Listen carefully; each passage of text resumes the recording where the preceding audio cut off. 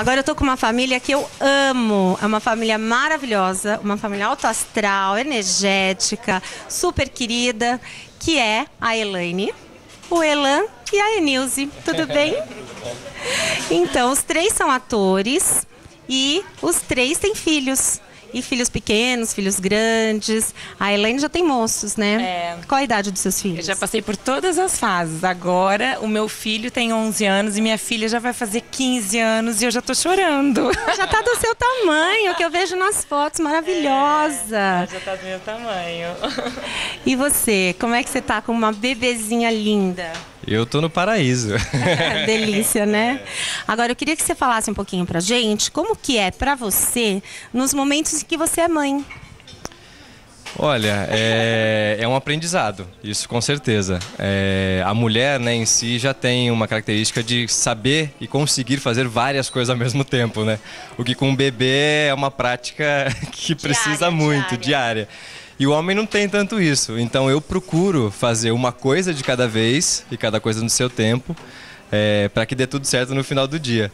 Mas eu adoro fazer isso, adoro ficar com a bebê, adoro cuidar, adoro dar comida, dar banho, trocar e tudo mais. Então para mim é muito prazeroso. É, então não é problema nenhum. E como você consegue conciliar o seu trabalho e ficar com a bebê? Porque aí você e a Carol, vocês trocam o tempo todo, né? É, o tempo todo. Bom, como o nosso trabalho não requer um horário fixo, né? É, dificilmente a gente tem um horário fixo, então a gente sempre se programa um dia antes, dois dias antes, uma semana antes, como é que vai ser os próximos dias. As agendas têm que estar inteiras, né? Senão não dá certo. Sim, sim, com certeza. E tem uma moça que ajuda a gente também, que trabalha em casa, e aí quando a gente precisa, ela, ela cuida da criança também. Então a gente sempre tá revezando em três ali, e tem as tias quando precisa. Então, muito, e é por isso que eu tô com a família aqui, porque eu quero saber de você se as tias são muito solicitadas. São um bocado, principalmente essa aqui, ó, que mora mais perto. Geralmente, quando a gente tem algum evento à noite, alguma coisa assim, Tia Nil, e aí, pode ficar aí? Pode, pode ficar aqui. Aí já fica lá com a Loreninha também, brincando bastante. E é, mas elas ajudam muito, bastante. Rodrigo, mas sabe que essa coisa da família ajudar, eu acho que é a coisa mais importante que a gente tem. Principalmente a criança quando tem até completar um aninho, um ano e meio, que precisa principalmente da ajuda, assim, da, das tias, das, dos avós é, e parentes, porque geralmente até essa idade a gente ainda não tem babá. Aí a criança ainda é muito, muito dependente. E mesmo também a partir de oito, nove meses, quando começa a engatinhar, piora, né? Porque começa a engatinhar aí que você tem que ficar correndo atrás. E aí a gente precisa realmente de alguém 24 horas olhando a criança e cuidando. Eu lembro que na minha época, que as crianças eram pequenininhas, eu é, gravava muito, ia para o Rio, então eu delegava para minha sogra, para minha irmã, no caso meu irmão acho que não morava aqui ainda, mas era sempre família, não tinha babá também até um ano. Então é isso, você tem que delegar e tem que pedir ajuda ajuda mesmo, solicitar aos familiares. A gente agradece sempre, eternamente. Então, irmãzinha querida, muito obrigada por toda a ajuda da vida. Ai, que lindos. Mas eu acho que não é só o fato de você ter babá ou não, é que a diferença de você estar com o seu irmão, de estar com a sua mãe, a tranquilidade é muito não, maior, né? Você sabe que até hoje, assim, sempre quando eu viajo, eu sempre tenho assistência, por exemplo, do meu irmão e da minha irmã, eles vão em casa, fazem companhia para as crianças e levam para o shopping, para o cinema, para entretenimentos, enfim, isso é muito importante, não ficar só com, com a sua funcionária, que obviamente é de confiança, mas com a pessoa que tem que eles têm um afeto mesmo, né? Com as pessoas que eles gostam, que têm afinidade e fazer. Uh, é, os momentos de prazer e de lazer em comum com, com a família. Então isso, isso é muito gostoso e prazeroso com eles. Acho que tem a questão do vínculo também, né? Até os cinco anos ali, eu, eu acho e tenho lido muito que é muito importante para a formação da criança estar muito próximos da, dos familiares mesmo, para criar esse vínculo e para se identificar naquele núcleo, né? No núcleo familiar e mesmo quando vocês não estão presentes, que, que a criança se sinta acolhida, né? Porque com uma babá, óbvio, ela vai se sentir acolhida por aquela pessoa que ela pode gostar, mas não é a família dela. É. Com certeza. Agora, Nil, eu queria que você falasse pra gente da sua emoção de ser mãe. Que você tem uma filha que tem a cor do seu cabelo, né? Coisa mais colorida e linda. É, minha filha é fofa, ruivinha, dos olhos azuis, só 2% no mundo, igual a filha da Dri, que também é ruivinha, linda. É, mãe, eu acho que é uma coisa que completa a gente por inteiro, né? É, desde pequenininha é aquilo que você espera, casar, ter filhos.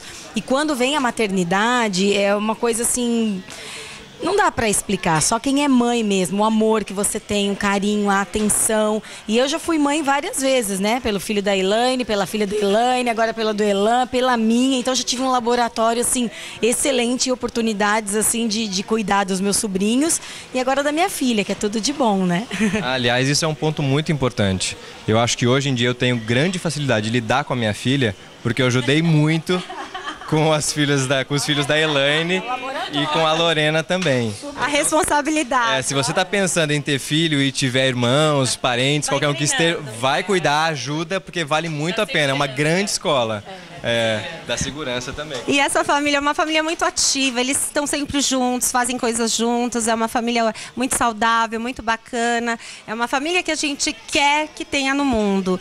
Então, é muito legal porque eles estão construindo novas famílias como eles, a né? Nossa família é igual a família da Dri, então por isso que a gente dá super bem, entendeu? Por isso, né? Agora, só mais uma coisa, quero saber de você, como você tem dois filhos moços e ainda continua maravilhosa desse jeito. Ah, imagina Imagina, eu acho que é alegria, a, principalmente a realização é, pessoal, de realmente a gente se realizar como mulher, é, de, de, de, ter o marido, de ter, de ter os filhos, a profissão. Acho que tudo isso traz a felicidade. Eu acho que quando você é feliz, você transborda isso por fora também. E aí a gente acaba passando essa, essa alegria. Então dizem que tem essa beleza aí. Então, muito obrigada.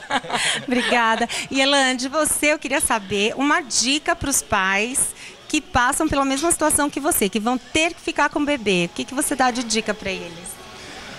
Olha, é... ficar com o bebê é delicioso, é maravilhoso. E ele nos dá muitas dicas de, de como é que você está cuidando do, dele mesmo, né? Então, sempre procurar olhar para o olhinho dele e, e tentar entender o que é que ele está querendo te dizer se ele está confortável, se ele está com frio, se ele está com calor, se ele está alimentado, porque ele te dá todas as dicas, se ele está confortável ou não.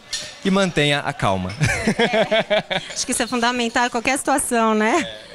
A calma e a paciência, gente, são tudo nessa vida, em todas as situações. E a alegria, né? Que e é alegria, tudo. Alegria, com certeza. Agora, eu queria que você desse uma dica pra gente de como cuidar de um bebê maravilhoso, como a sua, como são todos dessa família, e que é filha única. É, então, é uma preocupação que eu tinha, assim, que eu tenho dela ser filha única. Mas eu acho, meu marido também é filho único, e eu vejo que as pessoas são normais. Tem amigos, tem primos, né? Não sentem aquela solidão que eh, nós, como somos em três irmãos, eu acho maravilhoso, fundamental ter, ter irmão. Mas a minha filha está se dando super bem, tá na escolinha, tá feliz. Então, o que eu crio? Alguns hábitos diferentes. É, por exemplo, trazer mais para minha casa amiguinhos para ela poder brincar, proporcionar mais momentos de ir numa brinquedoteca, de ir num lugar que tem outras crianças para ela estar tá o tempo todo adaptada e convivendo com outras crianças. Então eu acho que filha única é isso, você vai ter que eh, se doar um pouquinho mais em outros compromissos, em outras situações para colocar sua filha sempre em atividades para ter vários amiguinhos e além dos primos, enfim, de de todas aquelas outras crianças para ela brincar. Queria muito agradecer vocês todos por estarem aqui hoje com a gente nesse café da manhã gostoso. Obrigada, obrigada pela participação. A obrigada. Gente, a gente que quer eu vou voltar para ela que ela quer falar também, gente. Espera aí, eu só quero deixar um super beijo especial para a Adri Mazzoni, que é nossa amiga muitos anos. Além de amiga, é nossa profissional também, cuida da gente, dos nossos ah, filhos. Obrigada, obrigada. sempre, carinho. sempre, sempre muito carinhosa, querida, a família toda. Então, ah, super beijo e sucesso para vocês nessa, nesse novo caminho. Obrigada, querida. Obrigada. Não, eu só quero desejar sucesso mesmo pra Adri, que é uma querida, como a Elaine acabou de falar, assina embaixo. E além de tudo, ela é minha psicóloga de vez em quando, tá? Então, tudo de bom. Não, isso é amiga. amiga. É, e curtam muito o site, porque tá incrível, né? E eu quero também agradecer a oportunidade aqui de te parabenizar. Ah, e ter um site que é tão cheio de, de novidades, de informações, isso é essencial para os pais, principalmente os mais desinformados. Procure na internet porque tem muita coisa bacana que ajuda muito e com certeza o site da Dri vai ajudar bastante. E quero também deixar um recado para os pais, principalmente homens. O pai não ajuda a cuidar da criança, o pai cuida junto com a mãe, porque os dois fizeram e os dois têm responsabilidade sobre essa criança. Então, se doe um pouquinho, fique um pouco, um pouco mais de tempo com o seu filho, o quanto puder. Se puder meia horinha por dia, fica aquela meia horinha com ele, troca uma fraldinha, dá uma mamadeira, que já vale muito a pena. Cuida do seu filho. E eu queria que você desse o endereço do seu blog. É um blog, né, que você tem? É, a gente tem um blog também, chama Cuca de Pai, Cachola de Mãe com.br, que é onde a gente fala, eu e a minha esposa, a Carol, nós falamos sobre essa vivência, essa parte emocional de, de ter um filho, aquele serzinho novo na família, e tanto e nas duas visões, né, tanto do pai quanto da mãe.